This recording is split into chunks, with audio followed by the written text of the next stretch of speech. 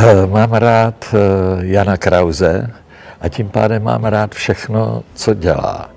A všechno, co dělá, se tak jako koncentruje do toho jeho pořadu show Jana Krause, který je vychytaný, báječný, jedinečný, úžasný, úža, no úžasný, slušný.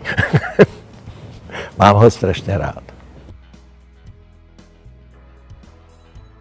Netuším, ale vzal jsem si všechny klaunské hračky, takže doufám, jednak, že ho vylekám a že stres zapomene na všechno, co si na mě nachystal a začne se ptát něco v tom smyslu, co to má znamenat, co to máš a tak dále.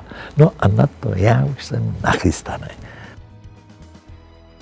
Jestli má rád klauny, jestli má rád Jirku Ornesta a jestli má rád mě.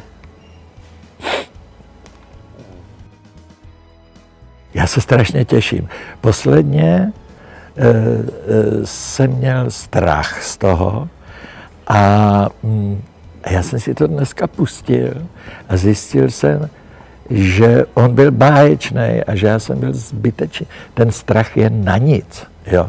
Protože dělá s tím myšlením takový jako e, lapálie a tak dále, a že když bude uvolněný, a jakože je, já už jsem ho potkal, rozumíte, jo?